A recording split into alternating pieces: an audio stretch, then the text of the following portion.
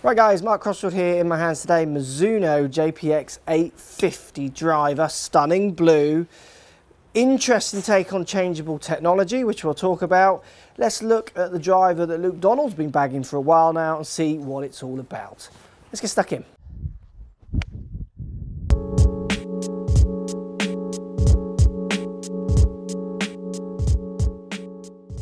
Right guys, JPX 850 Mizuno driver. We've got uh, GC2 on the ground, my Titleist Pro V1X balls as well, so we're going to show you some real ball data from the club. Also, let's give you an overview. Look, um, black face, striking blue lid.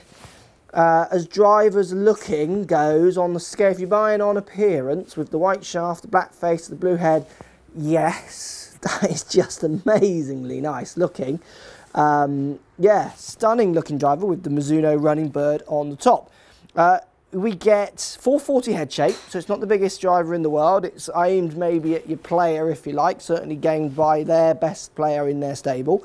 Um, or their biggest name. We get changeable neck, so I've got lofts from 11.5 going down to 7.5, so every increment in loft in the changeable neck. We get now weight system, so I've got two weights in the back here which are keyed in and out so I can move them, twist them to move them. So I can slide them forwards and backwards in this channel going through the middle of the club. I've also got a room for one in the heel and room for one in the toe. So you can set this club up in a many, many different ways from lower trajectory, high trajectories, most stable, um, draw biased, fade bias. Anyone who's watched my jaw and my jaw do these weighted drivers work? Obviously look at that one as well because these weights will only do a certain amount. They're not going to dial you in from horrendous shots, but they might help you shave off 200, 300 revs of spin or a little bit of spin axis depending on the way you release the club. But certainly for changeability from Mizuno, this one's doing everything and it's doing it quite uniquely, which is clever, which is hard. You know, other companies have done changeable for years now, so they're kind of maybe a bit later in coming, but then you could argue with sliding weights, they innovated that first more than anyone else. So kind of all swings and roundabouts, doesn't it? Um, let's give it a hit, see what it feels like. It's 440 head shape, so down by the ball, it's a very nice, compact looking head for me. Some players might want more help down by the ball. I've got it set in a 9.5. I've got the um, standard stiff shaft 60 gram in here. For all you shaft toys, you can get your custom fit shafts or what have you into there. Uh, let's give it a hit, see what it feels like. I mean, down by the ball, I want to bag it straight away. It just looks absolutely gorgeous with the colorways. Let's see how it feels. Okay, it's quite an interesting sound. It's loud. Uh, it's a good old ting off the face. It's certainly not a quiet driver and it's certainly not quiet in the way it looks as well. I haven't got a problem with that. Um, you know, it, it, makes you feel like you are giving it a good old whack off the off the face when it makes those kind of noises. Let's give it another hit. It sits lovely and square down by the ball, uh, which I like in a driver. Caught that one slightly off the toe, but it's still flying nicely. That's a good looking flight. I'm looking forward to seeing the numbers on this one. Um, when it comes to the changeability, I mean, I wouldn't be buying this club on the changeability. I will do other videos where I test how much the weights move around. This is just a general over, overview. And like I've said, if you watch my video on how much effect those weights can have on shaping or different spins on the ball, subject to how you're releasing and what have you, it can be next to nothing or a lot. Um, let's give it another hit before we look at these numbers. I mean, looks and feel, feels lovely, looks amazing, without a doubt. It'll be on these numbers. I mean, if these numbers are anywhere near I'd want them to be, it'd be hard not to put this in the bag, to be honest. This is quite a big step from Mizuno. Uh, obviously, their driver market is not maybe their biggest, but this one is uh, got to be a bit of a player, isn't it? Oh, that feels lovely. Really, really nice. I'm playing tomorrow. Once we've checked the numbers on this one, this one might be going in the bag. Um, let's go and look at the numbers. I'm liking it. Obviously like the looks, I like the feel. I want to see how it performs. I've got a driver at the minute that performs really well for me, so I can't see it beating, but I have not hit it yet, so we're going to go and check the numbers and see, and uh, we'll show you the numbers. I like the changeable weight. I'm not going to get involved with that. I think it gives the fitter more options than you as the purchaser. You wouldn't, you'd be getting it fitted up and then playing with that. How much that's going to dial into helping you hit more fairways and the rest of it is always going to be slim.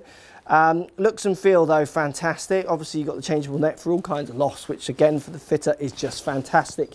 So they don't have to have a million different head combinations. Yeah, 850 JPX, loving that. Let's check these numbers out and see if it might go into the bag. Right guys, let's look at the Mizuno JPX 850 driver numbers. Now I'm definitely liking the look of this club. Let's see what the numbers coming out. So I tried it actually in two settings for you for the different weights and I've got the booklet in my pocket to try and work out because there's so many settings, I'm still learning it. Um, I started it with the two weights in the middle channel pushed towards the face um, and I was getting 2-1 spin nice and low. I was getting 263 average carry, uh, top one out 265, averaging 260. That's exactly where I need those clubs to sit. I like the 2-1 spin. Really, really good numbers, launching down at 14.6 degrees. Then what I did, and let me get my booklet out here, it comes with a little booklet, is I put the weights out to each side of the golf club because it's meant to be, um, if I remember correctly here, it's literally the first time I've seen this club, as in not in Luke Donald's bag but in my hand. Um, there we go, that's for straight flight, which I'd imagine. Uh, lowest spin and trajectory higher. So I had the two weights on the outside, higher trajectory but lower spin. Uh, no, sorry, lowest spin and trajectory height. So lowest spin and trajectory. So it's for the lowest, sorry, I got that the wrong way around. It's for the lowest spin and the lowest trajectory. Now with the weights in the outside, I actually launched it nearly a degree higher and I spun it at 2.4. So it didn't, as you can see the weights didn't really come into action there. Now, I did get one at 1.8 spin with the weights in those settings and then I got one carrying 274. So my average went to 265, a fraction longer with one of my joint longest hits apart from I think I've had a 280 once with another manufacturer. So the numbers were really good. I've got one in there at 255. I mean, if you take the 255 out there, which is obviously a bit more of a miss hit, I'm getting that up to 270. So with the weights on the outside for the lowest spin and trajectory, for me, is definitely, um, yeah, that might be going in that bag. I'm liking it. I'm loving the looks which is what's really selling it.